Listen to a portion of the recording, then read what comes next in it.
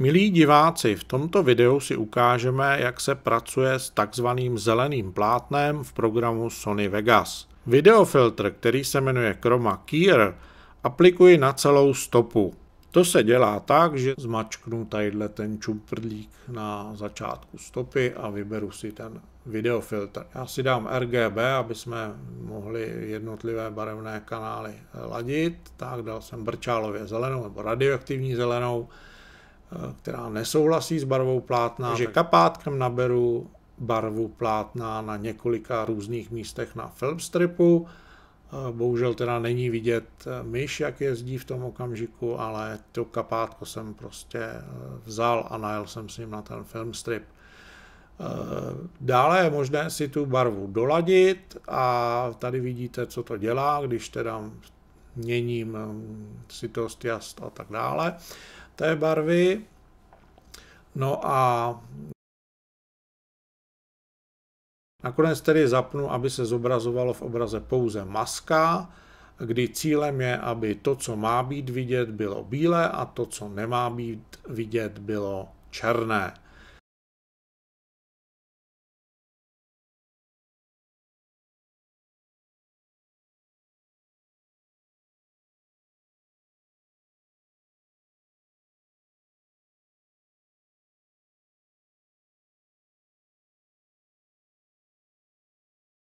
A potom eh, vlastně měním hranici nebo práh citlivosti horní a dolní propustě tak, aby vlastně jsme nabrali optimální obraz, kdy teda bude osoba eh, bílá a pozadí černé.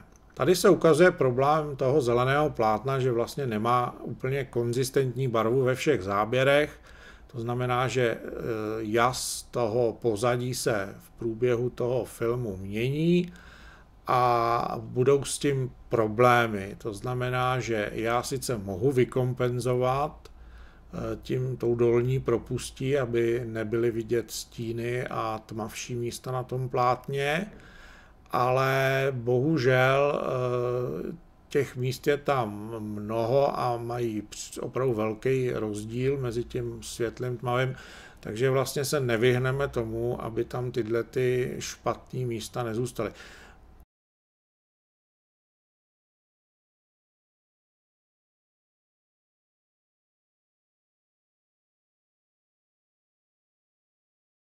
Tuhle chvíli už dochází k tomu, že ta dolní propust je tak silná, že nám vlastně zase neviditelňuje tu osobu.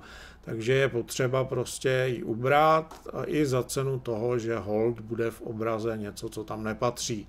To se dá potom případně vymaskovat, ale je s tím strašná práce. Tak teď jsem našel nějaké hodnoty, které vypadají celkem optimálně, to znamená osoba je víceméně celá bílá a za ní se víceméně neobjevují eh, bílé fleky. Ještě si s tím trošku pohraju, ale už, už opravdu už to moc nejde. Pustíme si to. Vidíte, že v podpaždí prostě je bílo, ačkoliv by tam mělo být černo.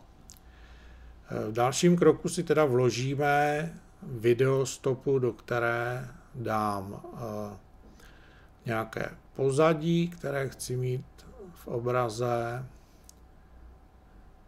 Tady tu krajinku a pustíme si, jak to bude vypadat.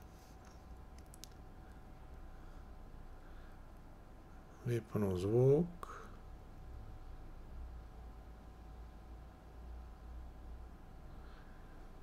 Takže vypadá to celkem dobře, toho podpaždí si třeba nikdo nevšimne.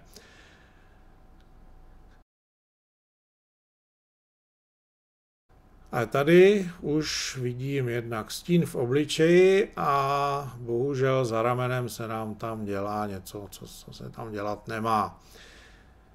Divák by si toho nemusel všimnout samozřejmě, ale si by se s tím nedalo něco dělat.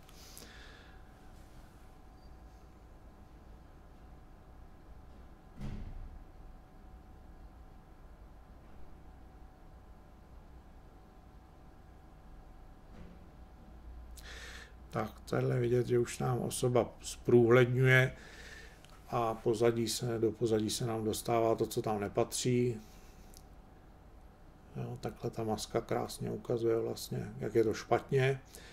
A to je přesně ten případ, kdy to zelené plátno není dobře nasvětleno. To je na jedné straně prostě jiná barva než na druhé. S tím se už opravdu potom dá těžko něco dělat.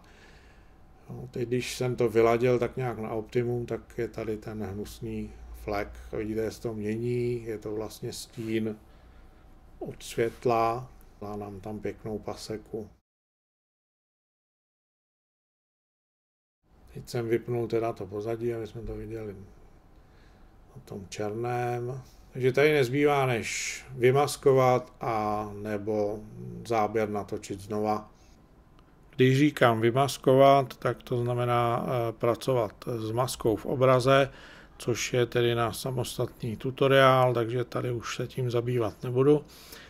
A k tomuto vlastnímu, tedy zelenému plátnu a korigování všech těch hodnot ještě dodám, že tedy abyste se vyhnuli těmhle těm problémům, je potřeba mít tři zdroje světla, jeden, který bude mířit od kamery přímo na vás a bude za vámi dělat na plátně stín a potom zhruba za vašimi zády na úrovni jakoby vašich zad by měly být dva zdroje světla, které budou mířit na plátno za vaši postavu, čili někam za ty záda a budou vlastně eh, ten stín, který vyrábí to hlavní světlo, eh, mírnit, eh, ideálně, když ho úplně přesvítí, takže tam žádný stín nebude. To je tedy ke zdroji světla, že by tedy měly být tři zdroje světla a dva postranní zdroje by měly svítit na plátno. A ještě k tomu dodám to za B, že mezi vámi, tedy osobou stojící před plátnem nebo osobou sedící před plátnem a plátnem by mělo být dost místa na to, aby ten stín eh, nebyl tak ostrý, aby nebyl přímo hned za váma, protože pak ty dva postranní zdroje ho vlastně nejsou schopny překrýt. A když ho nejsou schopny překrýt, tak potom tam vznikají ty, ty artefakty. Eh, další samozřejmě podmínkou je, že to plátno bude opravdu dobře napnuté, že se nebude eh, na něm dělat faldy a že se nebude různě kroutit a tak dále, protože zase opět vyrábí to stíny, dělá to nekonzistentní barvu a pak jsou s tím tyhle ty problémy. Takže jednoduchá rekapitulace, tři zdroje světla, mezi plátnem a osobou dostatek prostoru a vypnuté plátno na maximum, jak to jde. Samozřejmě existují i jiné způsoby, jak nasvítit zelené plátno, například s větším počtem reflektorů lze docílit určitě lepších výsledků, ale lze použít i dva reflektory a využít toho, že teda svítí e, ze šikma a stín, který vlastně osoba před plátnem vytváří, tak je vrhán mimo zelené plátno, ale to už mi přijde trošku extrémní. A to už by bylo z tohoto videa opravdu vše. Já vám děkuji za pozornost. Doufám, že se vám to video aspoň trošku líbilo, že jste si odnesli nové poznatky, které uplatníte v praxi. A těším se, že se s vámi uvidím někdy příště u videa na podobné téma. Však to znáte. Nasledanou a mějte se krásně.